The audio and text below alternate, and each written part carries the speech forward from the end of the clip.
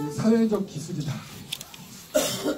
이게 요거는 이게 이게 제 생활 지도 방식이에요.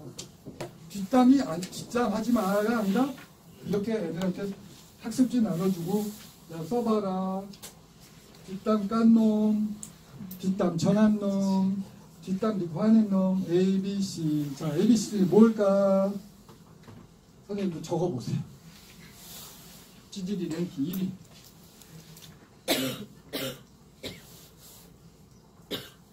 뒷담 깐 놈, 뒷담 전한 놈, 뒷담, 어, 저기 학습지 저기 있습니다.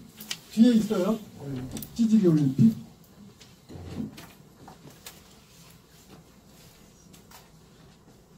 제가 이걸 실제로 해봤더니 애들이 생각보다 오래 생각을 하더라고요.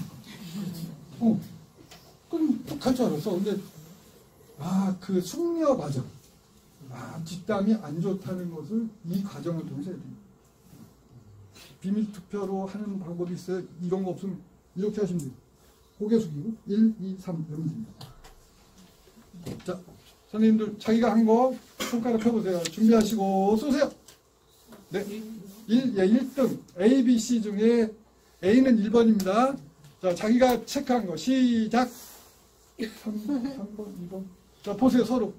자, 누가 제일 많나요? 누가 제일 많아요? 네? 2번 제일 많죠? 간자야, 간자. 뒷담 더 넣는. 그래서 전교 단위로 이걸 실행을 하세요. 하고서 일, 일, 정교생 중에 뭐 85%가 A라고 했다. 그럼 여기도 85% 이렇게 하는 거야. 85 이렇게 이렇게. 아니면 교문에 이벤트를 해도 돼요. 플로터로 출력해서 스티커 한 장씩 붙이게 하는 거야. 뭐, 그럼 어디가 제일 많이 붙어? 뒷담 전환율이 많이 붙는다. 전국적으로 그래. 그러면 이 결과를 통계를 내서 어디다 붙이는 게 좋아?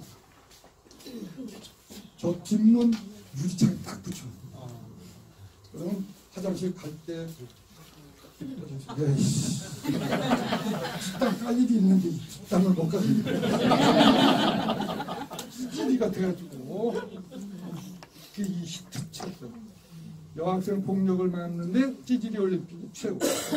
그 다음에